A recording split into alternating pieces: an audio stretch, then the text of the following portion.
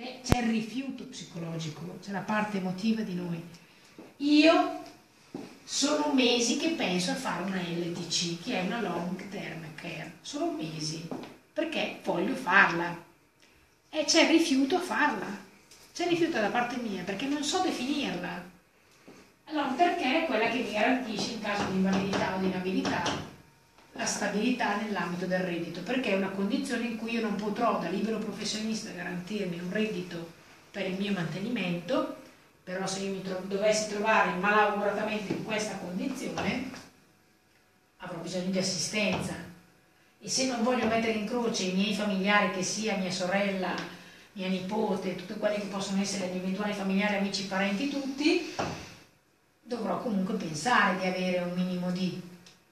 Non riesco definirla, non riesco a definirla nell'ordine economico, non riesco a definirla di quale potrebbe essere l'ipotetico, l'ipotetico incremento C'è la di... parte emotiva che copre. Sì, sì, c'è il rifiuto. Ma perché tu quindi la pensi prima del- dell'età pensionabile? Cioè nel senso, pensi se non riesco Può a lavorare in dire qualsiasi momento. che la pensi, cioè molto molto... Beh, allora, se dovesse succedere nell'età pensionabile, avrò il mio reddito da pensione che sarà un reddito dovuto da, tra la pensione pubblica, un misto tra la pensione pubblica e il mio fondo pensione. Cioè, quindi Però il mio problema è se mi dovesse succedere il classico esempio di que- della, eh, della situazione di una malattia invalidante, come potrebbe essere una SLA, piuttosto di una malattia grave, piuttosto che un incidente in macchina, visto che faccio 45.000 km l'anno, eh, un incidente in macchina che va a intaccare quella che è la tua sia abilità al lavoro, ma anche invalidità praticamente come persona. E ne- mm, c'è il rifiuto mentale, non riesco a definirlo. Perché poi pensi, vedi che tu hai già inquadrato. Io penso all'invalidità come se dovesse succedermi quando sono in pensione. E se No, non succede, hai detto che non mi, non mi posso più garantire un reddito. E allora Eh questo sì. vuol dire che non hai una pensione. Perché se hai la pensione comunque su qualcosa forse, forse, Certo. si potremmo No, contare. no, no, cioè, infatti io ti ho fatto l'esempio perché ho detto io sono una libera professionista, Certo. ma anche un dipendente, voglio dire, se Sì, sì.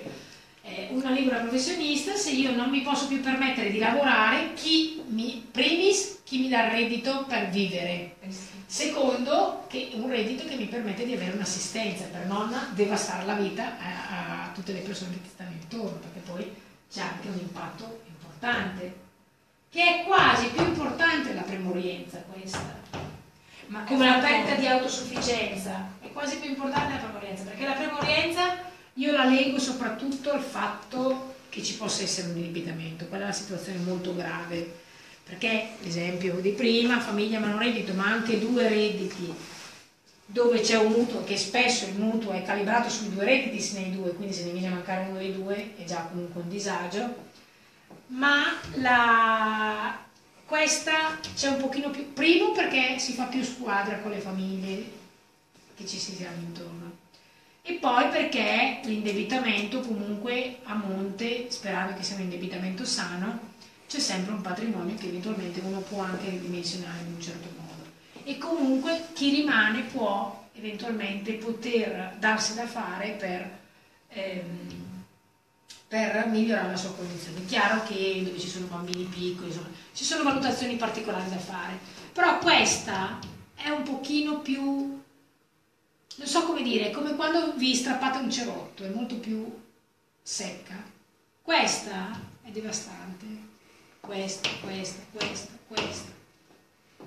La longevità